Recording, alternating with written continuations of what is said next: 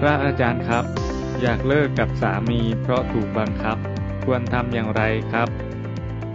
คือคนเราต้องเข้าใจอย่างหนึ่งว่า จะให้คนอื่นถูกใจเราหมดเลยมันไม่ง่าย ไม่ใช่ไม่ง่ายอย่างเดียวเดี๋ยวแทบว่าเป็นไปไม่ได้เลย เพราะแม้แต่ตัวเราเองที่เราเป็นเจ้าของตัวเราปากก็ของเรา ลิ้นก็ของเรามือก็ของเราเท้าของเราหลาย ๆ ครั้งเรายังทำบางอย่างไม่ถูกใจตัวเองเลยทำไปแล้วก็มาเสียใจเราไม่น่าพูดอย่างนั้นไม่น่าทำอย่างนั้นเลยนึกเสียใจ อย่างนี้ยังมีเลย เพราะฉะนั้นการที่เราจะหวังให้คนอื่นเขาถูกใจเราเป็นเรื่องที่ยากมากเราต้องเข้าใจอย่างนี้ก่อน อย่าไปหวังให้เขาถูกใจเราทุกอย่างเลย สามีเขาก็ดีแต่ว่าเขาชอบบังคับเนี่ยอาจจะเป็นข้อบกพร่องของเขาเดี๋ยวค่อยๆจูนค่อยๆปรับกัน แต่ต้องอดทนกัน เมื่อเลือกที่จะครองชีวิตคู่แล้ว ก็ต้องอดออมถนอมน้ำใจซึ่งกันและกัน ถามว่าเราดีพร้อมไหม เราถูกใจเขาหมดร้อยเปอร์เซ็นต์หรือเปล่า จริง ๆ เราเองก็ไม่ได้ถูกใจเขาร้อยเปอร์เซ็นต์เราว่าเราก็ใช้ได้ แต่ถ้าดูจริงๆเราก็รู้ตัวเองอยู่ว่าเราก็มีข้อบกพร่องเหมือนกัน แต่เขาก็ยังอดทนเรา เราก็ต้องอดทนเขาเหมือนกัน เมื่อตกลงปรงใจครองชีวิตคู่แล้ว อดออมถนอมน้ำใจประคับประคองชีวิตกันต่อไปจะดีกว่า เพราะว่าถ้ามีลูกมีเต้าไปแยกทางกันอยู่ลูกเองก็เหงา แล้วก็ขาดความอบอุ่นอยู่กับพ่อหรืออยู่กับแม่เป็นคุณแม่เลี้ยงเดี่ยวคุณพ่อเลี้ยงเดี่ยว